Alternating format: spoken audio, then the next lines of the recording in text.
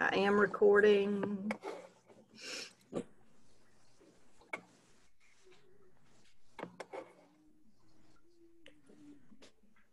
Got a couple more minutes.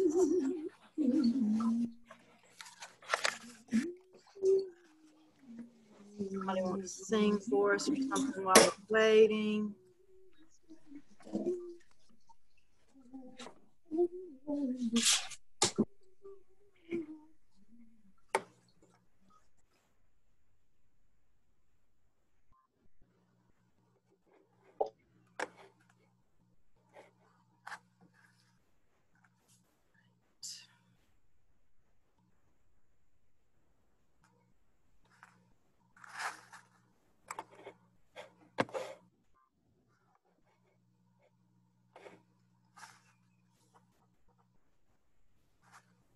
Again, remember to go into the chat box, type hi for me so that your name is showing up in the chat.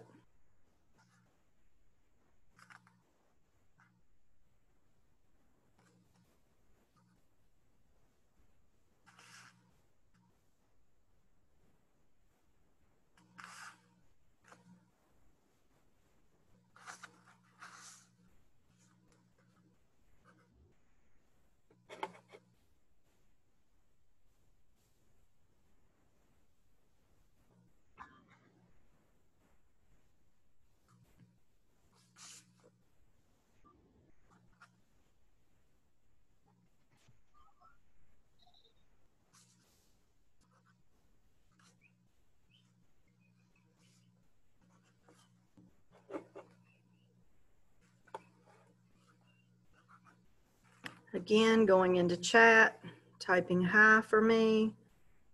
I'm trying to record attendance. In most Zoom meetings, I have two teachers. So one of us can do one and one can do the teaching while the other's doing the attendance check, but I do not have that luxury in this class.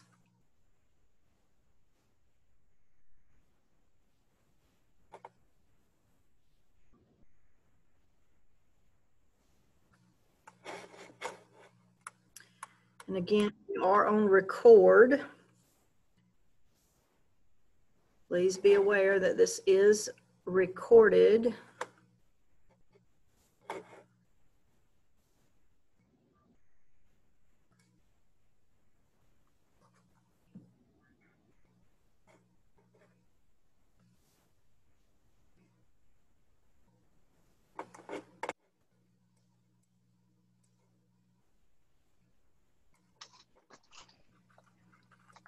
Yesterday, I was only to, able to make it through about half of the class as I was going down alphabetically in checking and entering grades from Edmentum into Power School. I am going to work on that some more.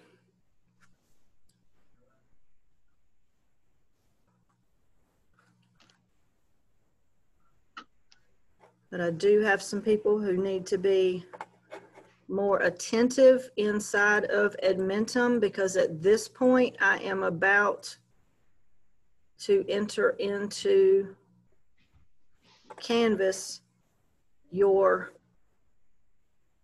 assignment to take the unit test on the ancients.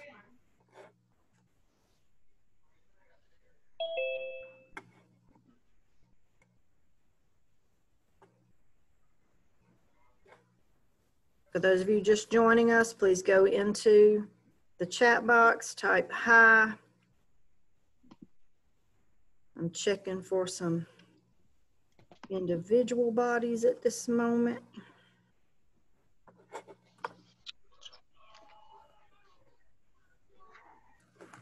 In Edmentum, you should be in there about 45 minutes a day. When you are inside of a um, tutorial where it's actually doing the teaching before you take the tests. I expect 45 minutes in that tutorial and I'm giving you basically a three day window for each tutorial before you are expected to take that test based on the dates that I am using inside of Power School's gradebook. Okay, I'm looking for Najee, Gerald, VJ, Emily, Daniel, Lizbeth. Noah Skelton has been in contact with me today, and I know that they're working on some technical issues there. Dustin, Sean, and Jakira. Does anyone have any way to contact those people and say, hey, we're in class? Yay, there's Jakira.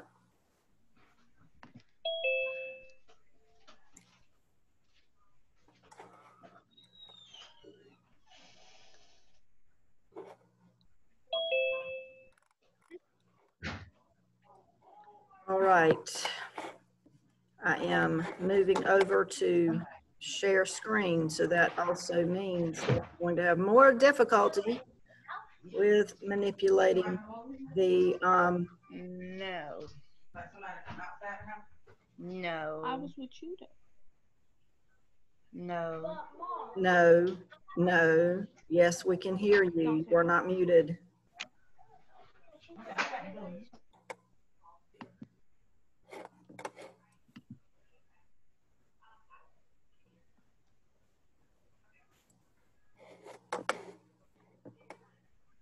All right, apparently we're wanting to be very sluggish in this as my computer is trying to open. I've had some weird experiences today, including my mouse buttons um, suddenly changing from left to right, flipping over on me right in the middle of a Zoom class. So um, a little odd. All right. So again, we are in recording mode. So if you have been working in Edmentum, and some of you have not, um, if you have been working in Edmentum, you should be at about the point where due on Monday is the section on ancient India and ancient China. A few of you have already passed that and actually gone into unit two. Thank you very much. But um, I have some people who haven't even made it into discovering the ancient past thing. So um, you are seriously behind. Please keep in mind that next week we are halfway through this grading period. Next week we are halfway through this grading period. Okay? So it is incredibly important that you become much more aware of timing and of moving through things. Okay? So making certain that work is getting done. For those of you who added today's keyword to your identity, thank you very much. I did receive a message that one person said they did not know how, and some people have told me that when they signed in, it did not ask for their identity. And apparently, it has to do with accessing it through the website. Um, if Jackson will unmute for me and do that little spiel again about how you did that. Okay, so if you go into the Zoom app without clicking on a link, just pull up the Zoom app. There should be a settings um, um, settings picture on the bottom left of your screen. If you click on that, Pause, pause for a second. That is before you click on the meeting itself, correct? yes. Okay. And so once you click on the settings picture, it should pop up with a list of things you can do. If you click on your name, it'll take you to a place where you can type in the rest of your name or change your name. And then if you just click save, it'll take you back to the home screen. And then you can join the Zoom with that name. Okay, and the really bad news is that different teachers are going to be using different code words, okay?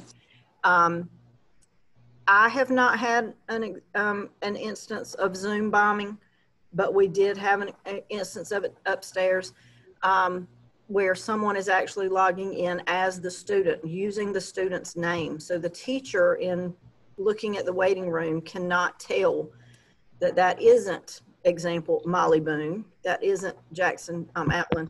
So they're letting that person in, and then the student um, is getting accused of what this hacker did. So, you know, just be aware. And again, different teachers will be using different code words. So um, you really do need to learn how to manipulate your profile and change your name to what that teacher is asking for. Okay. So, um, and again, we will have a different code every week that we meet. Okay. Because if I'm sharing this video, then obviously people are seeing um, the code word that I have chosen for today's meeting. All right. And if some hacker is out there watching our video, haha, we only meet once a week. So you can't hack into my Monday class using the pizza code word. Haha. Okay. anyway, the things that people go to the trouble to do.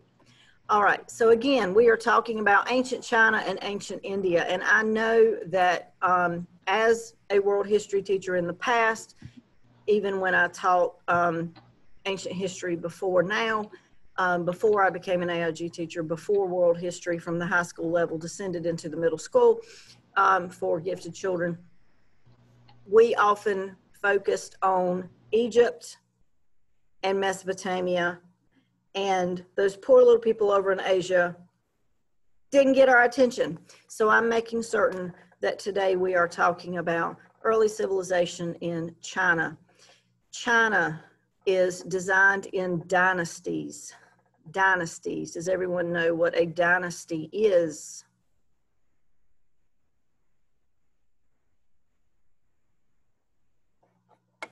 Again, this should be reviewed from sixth grade. It is uh it is when someone like rules when a family rules over a region for a, a time. Yes. So it's similar to um, a house when we're talking about the House of Windsor, who currently is um, the monarchy in Great Britain. And the descendants in that particular house. And one of my favorite um, eras in the um, early Renaissance is the House of Tudor, and that's the one with Henry VIII and um, Anne Boleyn, his second wife, and Queen Elizabeth I, his um, daughter um, from Anne. Okay, so um, dynasties are long periods of history of a particular family. So the change in the family. Okay. All right. Let me see how I can. There we go. Making sure because I've got so many things covering so many things on my computer screen. I've got to I've got to get better at extend than what I am right now on my view. I'm not good at it. I don't like it when my mouse isn't where I want it to be. So um, what do we need to know about Chinese history and its impact on the world? First of all, I want you to understand that China has a very, very, very large economic interest in the United States.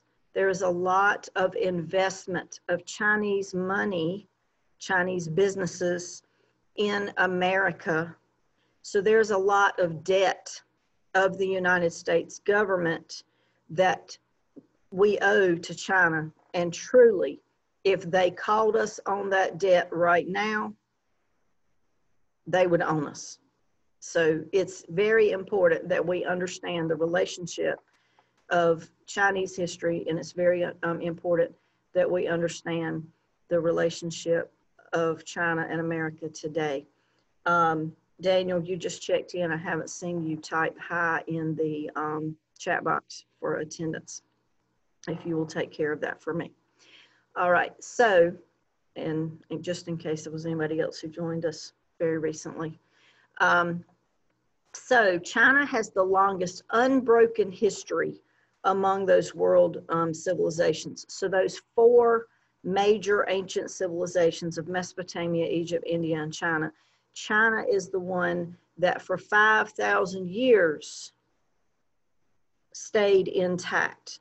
They were not invaded by another culture, they were not broken by another culture, etc. Okay.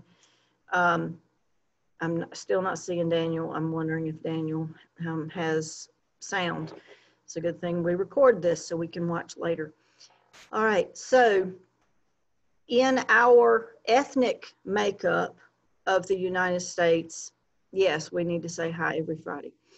Um, in the ethnic makeup of the United States, if we all went and did that little blood test thing for Ancestry.com or um, 123andMe, um, th- those little things that analyze your DNA, um, we would, um, one in every five people, 20% of us would find makeup in our genetic code from um, Chinese descent. And that would be 4.5% of our population, keeping in mind that the United States has over 350 million people. Um, China also has a very important economic impact on the world, and China's, um, I just thought about something. Let me, let me check the schedule real quick. I got to figure out how to turn my phone off. Because there is a person who has been calling me in the middle of um, all my lessons today. I'll take the phone off the hook, maybe. so I'm getting tired of that phone ringing um, in the middle of my, my lessons. All right, so the economic powerhouse of China um, has been at the lead. China has been the world's largest economy during 18 of the past 20 centuries. So 20 centuries, and a century is 100 years, that if we lined up 20 of them, China has been the largest economic power in 18 of them. Okay, so understand the economic impact, the importance of China in world power. Okay, the geography of China, the importance of the Huang He River and the Changjiang River. Okay, the Huang He is also called the River of Sorrow or the Yellow River. It is filled with the Loess, L O E S S, and it has to do with flooding the region.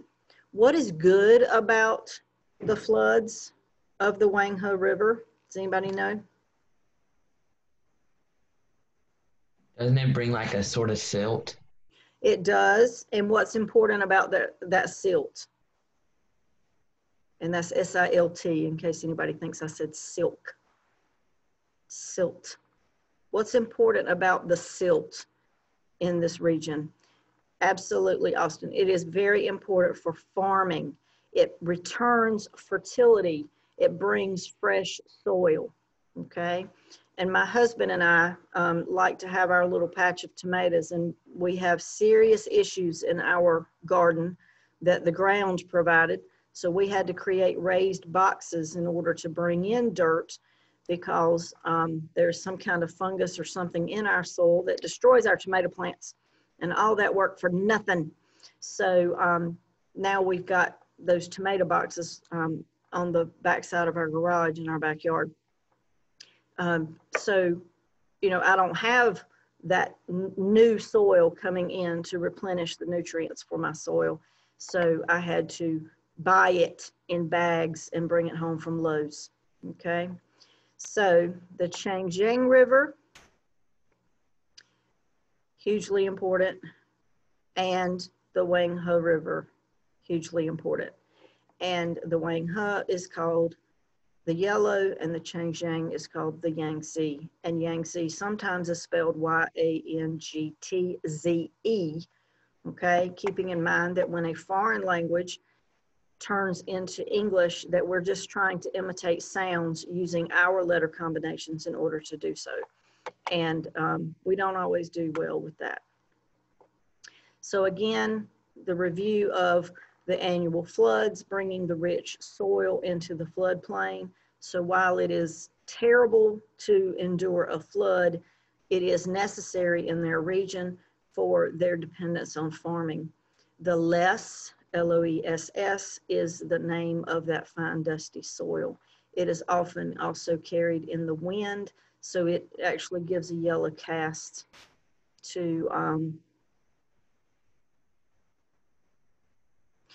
if you're asking about the code name, um, Caleb, it was sent in an email, okay?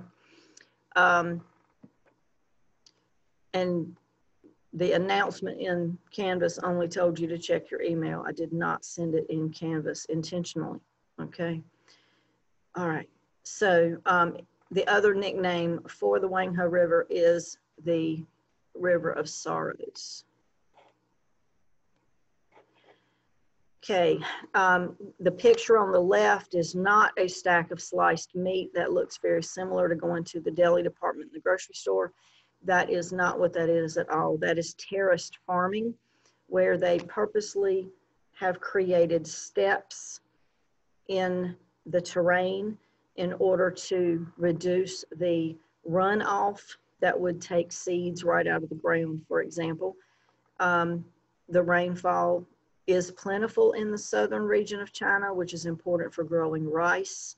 That is one reason that they have so much rice in their diet. Um, I remember, and you're probably a little too young unless you've seen it in reruns. There's a show called Every Everybody Loves Raymond. My husband loved that show. And at one point, um, he asks um, his wife something about what's for supper, and she said something about rice. And he says, We just had rice um, last night. Who eats rice two nights in a row? Well, how about one billion Chinese people? So um, that was the joke. But anyway, um, in northern China, they have a cooler and drier climate, so they have less rainfall, and it's suitable for grains such as wheat and millet. Um, corn is also considered a grain, just so that you have in your head what we mean by grains. Things that people would make cereal out of would be considered grains. The area also is um, relatively isolated. They are surrounded by things that protect them. So um, to the south and west, they are surrounded um, on that border by the Himalayan mountains, and that is certainly going to dissuade, deter people from invading from the south. Um, the um, Mount Everest is in Nepal, which is um, just to the southwest on that Chinese border. There's also that huge desert called the Gobi Desert to the north. Mongolia is sitting in that Gobi Desert. And then jungle to the southeast. So what geographic features allowed early China to develop without being tainted by invasions from other cultures? And that has to do with the um, rivers, the mountains, the jungle, the desert, okay? Um, their ability to produce enough food to support their culture um, allowed for the development of civilization, people to settle. We talked about the importance of agriculture before. And why was it called the Middle Kingdom? And that has to do with geography more than it does with the timeline because they were surrounded. They saw themselves as the middle.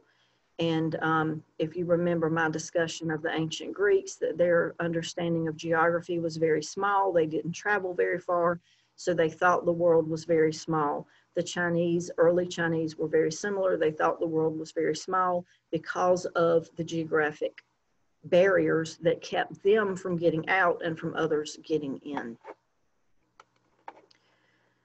the Shang dynasty from 1600 to 1122 BC. China was ruled by a strong monarchy. So we would recognize that as a king or a queen. Um, loyal clan leaders acted as the king's governors and ruled distant parts of the kingdom.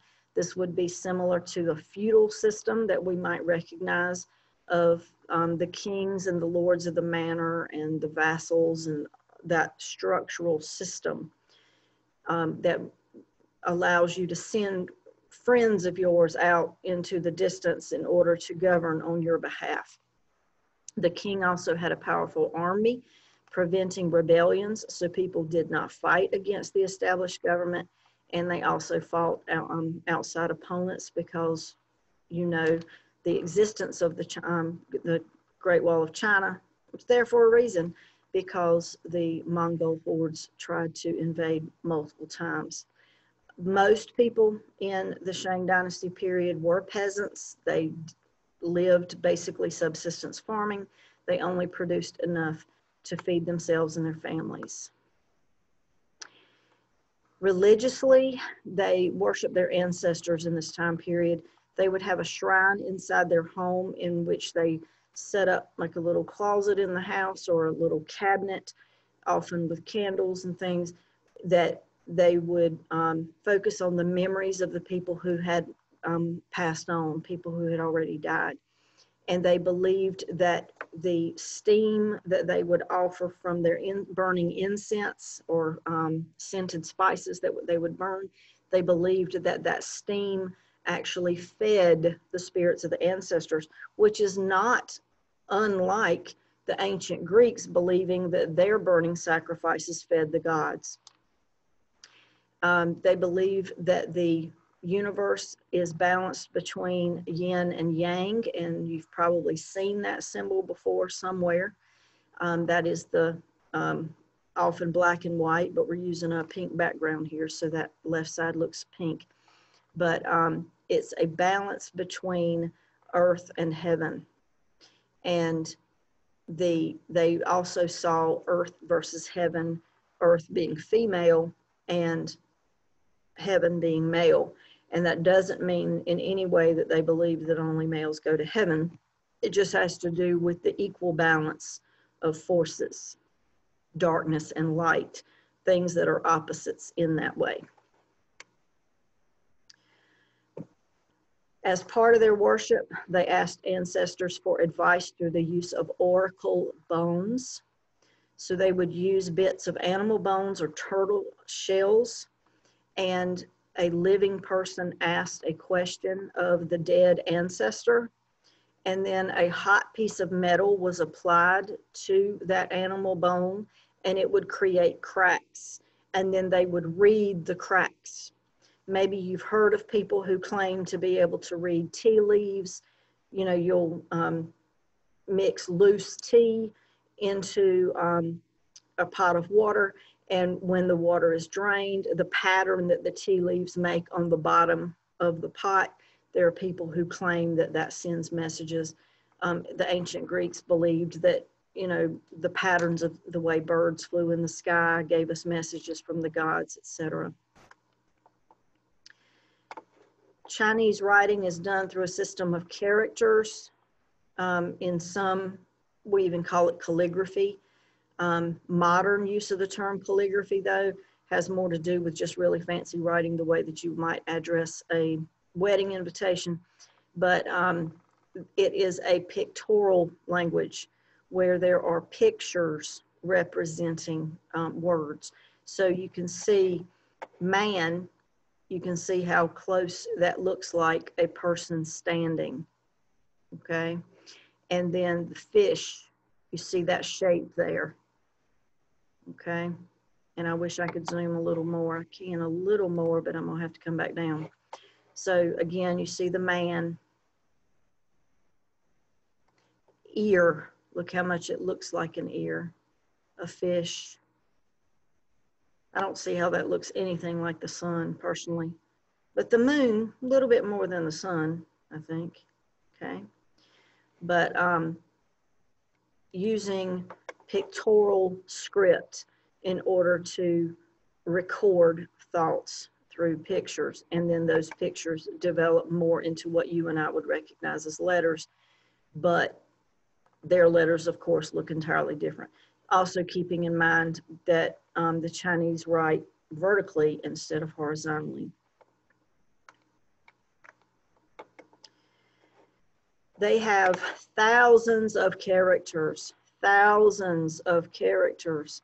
You know, we, we have just sent um, a whole new group of kindergartners into school, and one of the things that they're expected to master is the letters of the alphabet, and not only knowing what they are, but in what order they should be recited. I remember um, a friend of mine actually said that her son knew all of his letters, he just didn't know what order they were supposed to be in.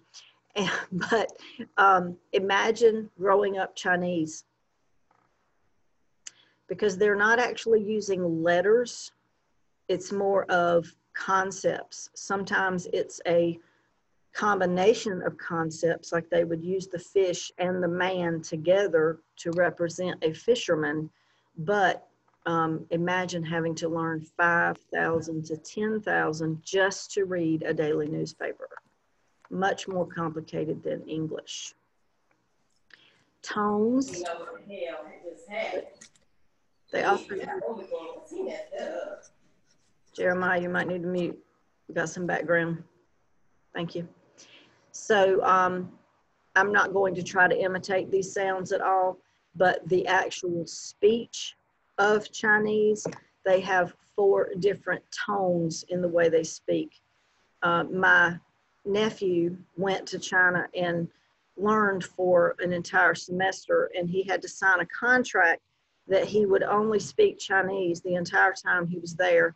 He was allowed to type in English back to his parents in an email, but if he was speaking even to a classmate from the United States, he had to use Chinese the entire time he was there. He was very close to getting a second major in Chinese. I don't know why he changed his mind in his last semester and he started taking other languages instead of finishing that one degree, but okay. But um, I have had him record a message for me before, but um, I lost that a long, long time ago. Okay. All right, so did I just skip one? Okay, felt like it. All right, the Shang achievements and decline, the Shang dynasty. And um, the Shang religion led to great advances in working with bronze. Um, bronze is um, harder than gold or silver, which are, tend to be a little bit softer and a little bit more easily damaged because that bronze is an alloy. Um, they built high, they created highly decorative bronze vessels, objects created for religious rituals. They also built huge structures like to, tombs, and they created a calendar and a money system during the Shang dynasty. The end of the dynasty um, came when armies, armies from a nearby tribe, the Zhou, invaded and established a new dynasty. Just like a monarchy, you know, back in the old days, in the Middle Ages, for example, if a um, particular um, king was killed, then a new family became um, leader if he was killed in battle as a result of war, not simply, you know, dying of something. Um, the Zhou dynasty followed the Shang dynasty, 1027 to 256 BC.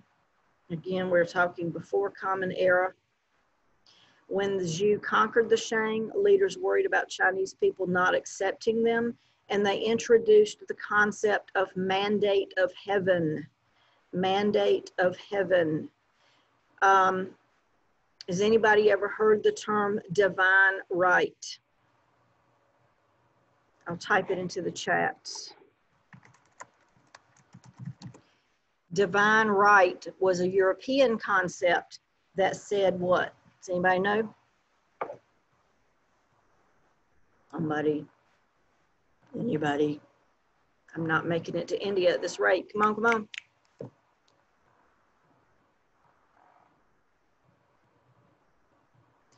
Divine right meant that kings and we and yes kings and queens were chosen by god and they were put on the throne by god. And who are you to question god? So we must stay in power. So mandate of heaven is the exact same thing just the asian form of the same concept okay? So um, the people should support a ruler because god chose that ruler and god would not put anyone in power who should not be. Um, I don't think that that's a valid concept anymore, but certainly during the age of enlightenment of the 1700s, um, that was questioned very seriously, um, even back into the um, Magna Carta um, early, early um, in the um, Middle Ages. So the dynastic cycle, the Zhou said that the Shang were overthrown because they lost God's favor. And keep in mind that when they say God, they do not mean the Christian God. Later rulers used the mandate of heaven to explain the dynastic cycle, so the rotation of leaders and the rise and fall of um, different dynasties over time is called the dynastic cycle. And um, religiously, because of the mandate of heaven, um, the people believed that if a dynasty fell from power, it was because they had become corrupt and no longer had the support of the gods.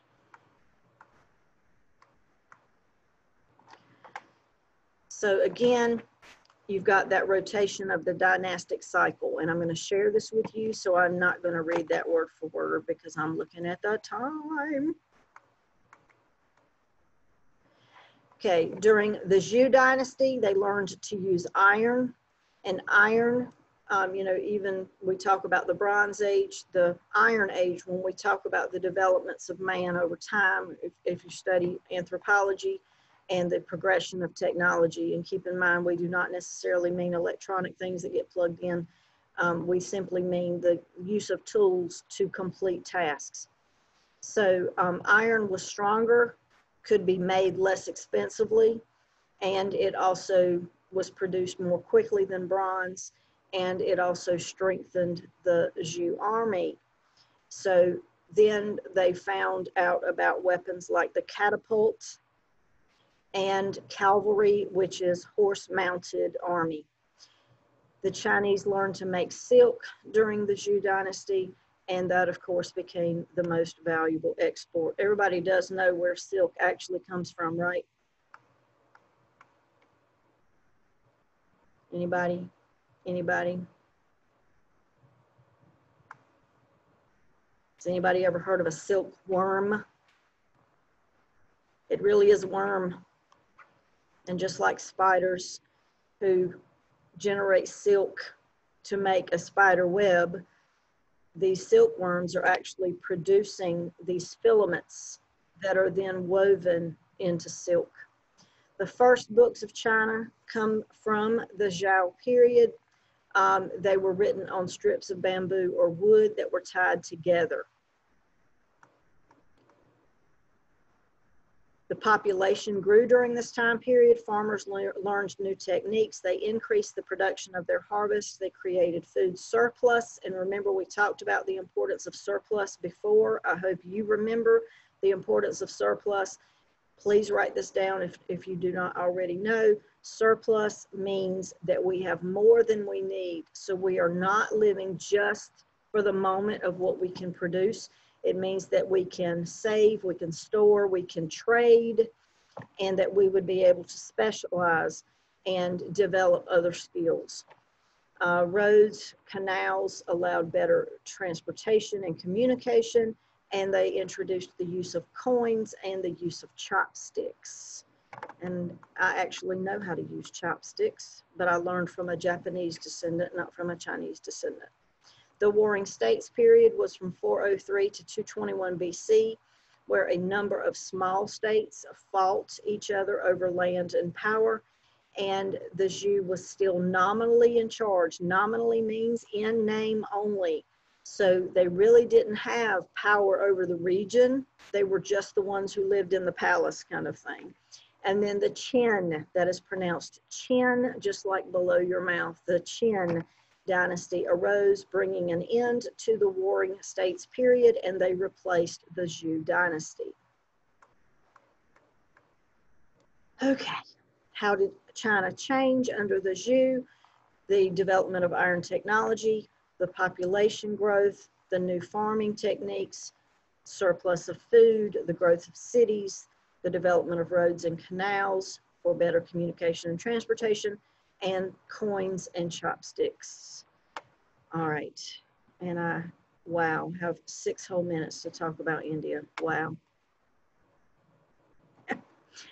All right.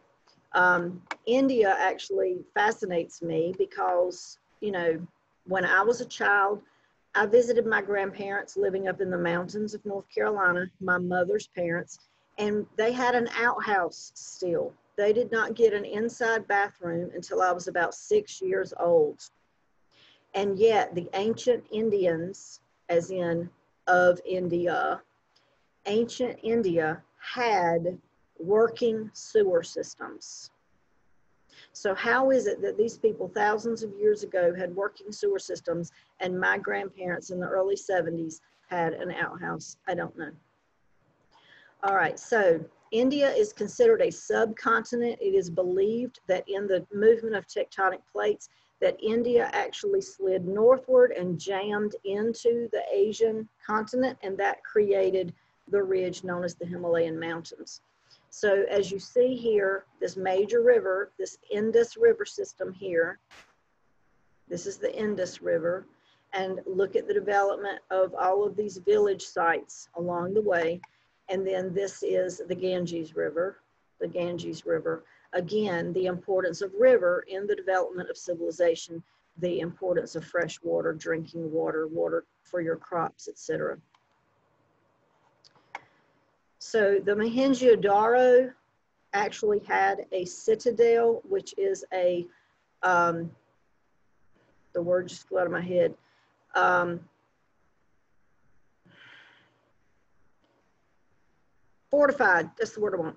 The fortified city where they had walls of stone to protect themselves and the city was inside. That's what a citadel is, not just um, a military university in South Carolina. This is an aerial view. So if we were looking down on Mohenjo-Daro's um, remains, the ruins from a satellite. This is looking at it from the side so you can get a perspective of height. This would be the steps. So that gives you a good scale view of climbing the steps. The Great Bath, again, they had um, running water. They had aqueducts. They had drainage for their water, sewage systems a well to collect fresh water from the rain. Look at how narrow the street would be. The granary where they stored food that had been grown, storing crops. Pottery of the time period. The development of ancient art, early letters, Again, I will be happy to share this with you. No one at, to date has been able to decipher this language. So maybe one of you will become a wonderful anthropologist and figure out the pattern of letters and put meaning to them.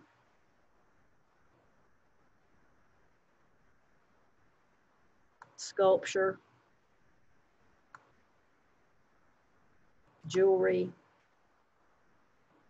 Again, another water collection site. Drain has to do with that outflow of water into their sewer system. They call this the unicorn seal. Harappa was the other um, village, if you looked at that um, map with the um, Indus River Valley. Harappa was the other one. Um, but is that really a rhinoceros? I don't know.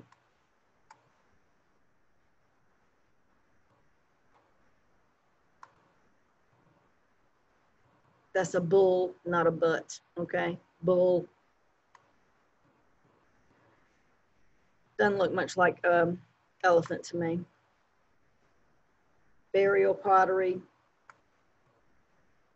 A male skeleton, well preserved because of being buried female skeleton. Here's the child. And then we go to the Vedic age, the Aryan migration. And Aryan today, we often associate that with a term that Hitler would have used, but that is not the term that we're using here. Um, but I am looking at the clock and it is time for me to stop sharing.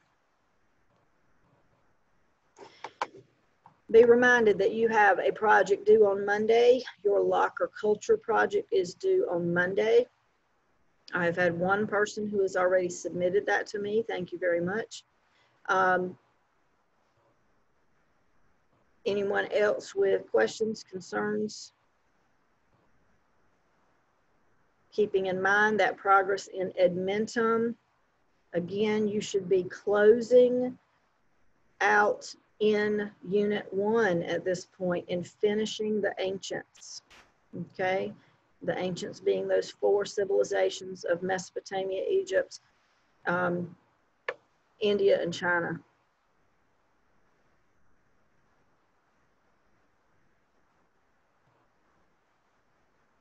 No questions?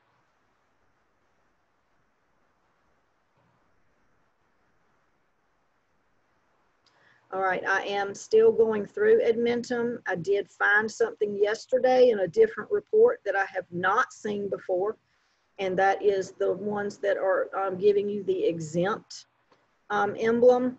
And um, that is because you did well on the pretest enough on that segment that you do not have to um, complete that section. So I will be going back in thrills my soul that I have to open every single report again and looking for those fancy little loopy looking E's for people. All right? I'm telling y'all, y'all just don't know how much overwhelming. I went home last night and cried, but it's, and it's not just your class, it's just all of them. all right? Okay. Have a good weekend. Be productive. Be responsible. Time management. Get focused on getting things done. All right. Good to see you. Thank you for joining me. Bye.